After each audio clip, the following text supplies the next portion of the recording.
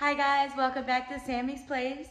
In today's video, I'm going to be showing you how to make a homemade, any occasion, fun game. So whether it's a birthday party, if you're at your um, friend's house, New Year's, anything going on, any occasion, this is a fun game you can make yourself. It's called Pat, the original name is Pass the Parcel. But a lot of Americans, they don't know what the parcel means.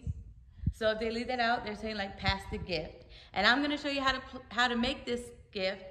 And I'm gonna show you how to make this game. Well, this gift. I'm gonna to make this game and all the rules. So let's get to it. It's gonna be a fun video. If you're new here, make sure you subscribe. If you're from my other channel, welcome friend. And let's just get to it. So for this game, all you need is a pair of scissors, some tape, and some wrapping paper of your choice and some prizes. What you see here is just a little bit of prizes. So what I'm saying with prizes is you want to keep it friendly. So if it's going to be a kid's birthday party, you wouldn't put like a scratch off. You might not even put the $50, but if you're playing with adults, then you can. I have like some oatmeal cream pies. I have just an apple for fun. I have a Pringles. It's going to be the main prize. You'll see what I'm talking about in the beginning. I have a pack of gum. These are the tape and the scissors and the wrapping paper is all you need to make this game. And your prizes, once you have all that ready, let's get to it. So the occasion is my sister's birthday party. However, it's January and we just got out of Christmas and I have this paper that says Merry Christmas I need to get rid of it. I'm going to do like a decorative kind of game, then I would definitely go to like Party City or go to a place that has nice paper. But if you just want to get rid of paper that you have and you just want to use it up and be cheap like me, then what you're going to do is cut your first piece of Christmas wrapping paper. It doesn't have to be too big. It depends on what prize you're using, but you want to make sure that it's not, these prizes are not too heavy because it's going to be going around kind of like a hot potato and you'll see here just in a second. So I always start with my big prize. It's gonna be the first thing we're wrapping. So I got these sour cream and onion Pringles. And all I'm gonna do is wrap them up. Take your tape, seal it there. We don't need all this excess up here because we're gonna be piling onto the same gift. So just get all that excess off kind of tuck your corners and try to be neat as you can on the bottom layer because when it gets to the bottom, it's going to probably be beat up from the game. So you want to make sure that the bottom layer is like kind of strong. And you tape it up like that. Just as if you're wrapping the Pringles for Christmas. Just do it like you're wrapping the Pringles for Christmas. Pull it up, pull it up, strap it up, take it up, and you don't need this much paper or tape, guys. Do, do what you do, but I'm just saying. Okay, so we have our first gift. So now what we're gonna do is any excess paper, just throw it away.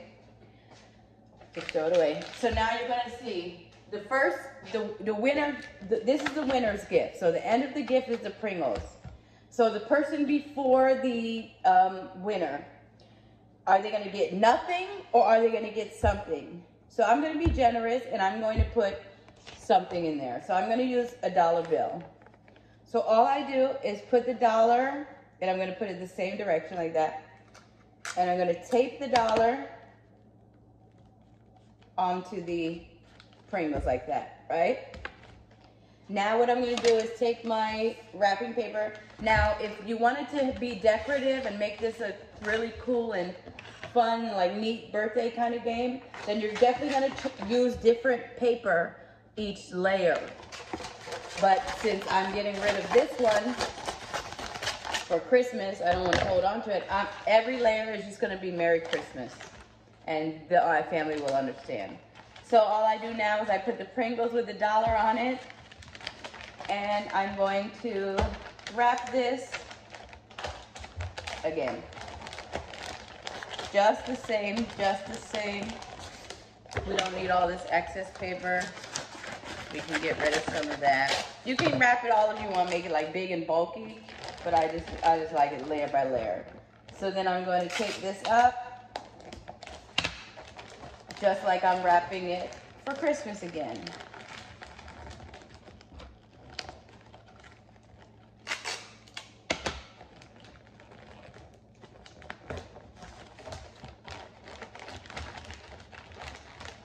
And it's kind of fun if you're playing for like, um, doing it for like a kid's birthday. You can use like each, each layer, you can put different toys in there. Or what my mom likes to do, and this is where I learned how to do this game from my mom, is skip a few layers. But there's been plenty of occasions where there's been so many layers skipped that nobody really wins. So I put the dollar here, so I'm gonna skip a layer. There's not gonna be nothing for the person before, so the Pringles is the grand prize. The dollar is the person before the winner. This layer is the third person before the dollar, so they're not gonna get anything, but the next person is gonna get a dollar. So I'm gonna go ahead and cut another layer.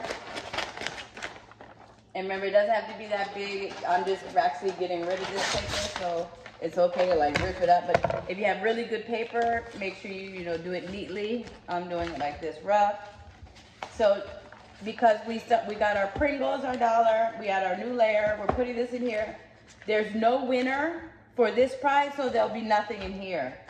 So when that person rips it off, they'll be like, oh, I didn't get anything. And they continue the game with the parcel or with the gift. So this person doesn't get anything. And we're just gonna wrap it up like that.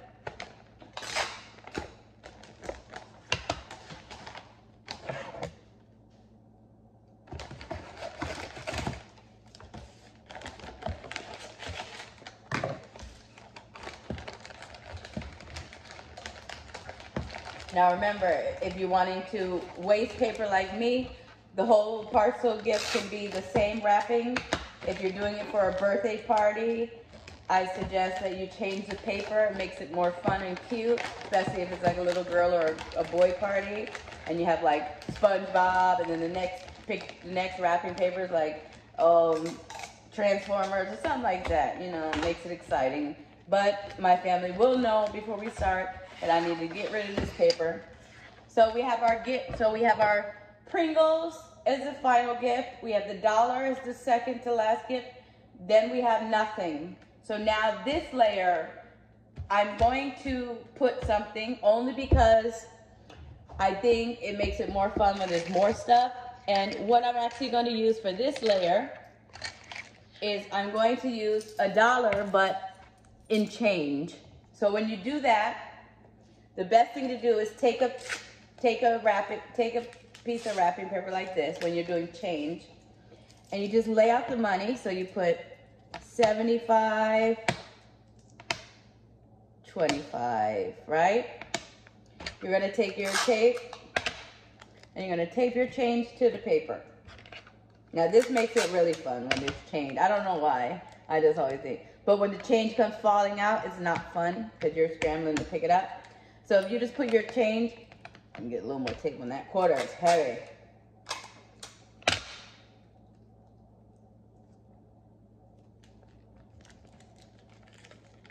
And you go like that and you put it like that. When the person opens their layer, they'll see the change like that. And they can just pull it right off and put it in their pocket. So that's the change. It's $1 in change.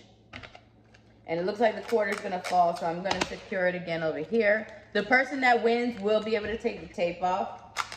So we'll just leave it like that so it doesn't fall out onto the floor while they're playing. When they get to that layer, they'll see it like that and they'll be so excited.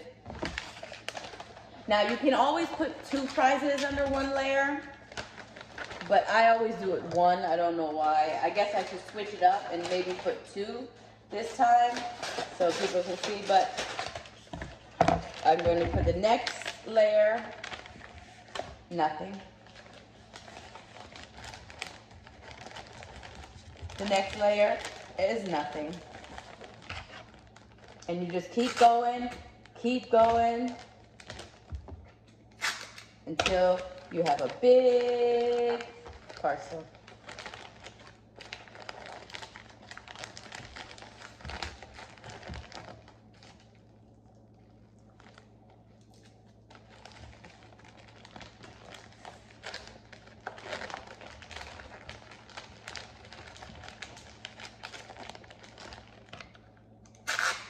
And remember, all these layers will be ripped off. So if you if you want to do it like sloppy, if you're not the best gift wrapping paper, you don't have to like take your time out of your day to do this. It could be sloppily done and last minute done. Just like that. Boom, bop, bop, bop. Okay? And then you keep going. So say we're to put the gum here. Next layer, we're to put the scratch off. Next layer, we're to put the oatmeal cream pie. Same thing. You just kind of like tape it there, wrap it up again. So now when the players go to win at the end, I'm going to show you how that works after I just wrap this, okay? So I have the oatmeal cream pies. I have a few more dollars. And I have a $50 for the big winner. And I'm just going to keep going. But you see that I didn't put the 50 in with the Pringles because the Pringles is the last winner. But the big winner is wherever you want to put them in the gift. So just keep on going.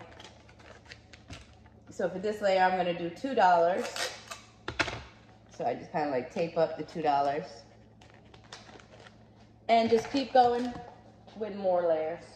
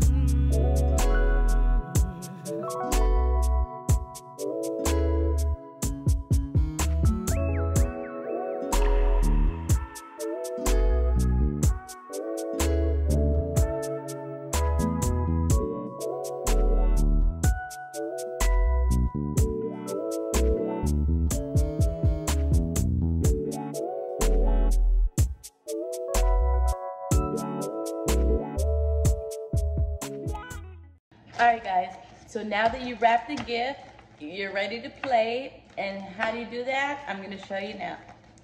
So you take the amount of people you have. Take the amount of people that you have. So say it's like six people. You're going to sit in a, in a circle on the floor. Kids can sit on the floor.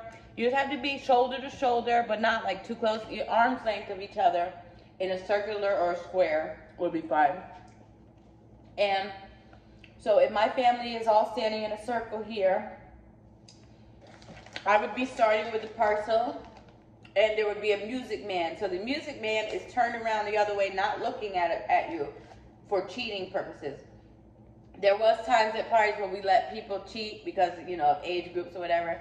So the music man would like look and if one person didn't get the gift yet or didn't get it unwrap a gift yet, it would stop purposing him.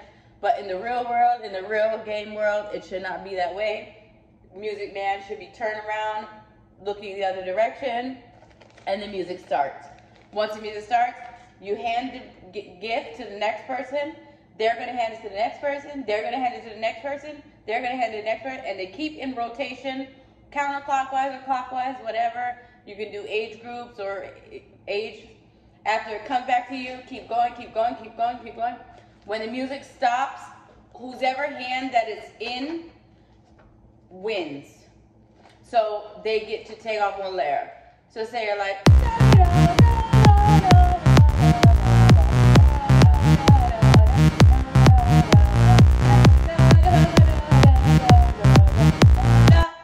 I got it.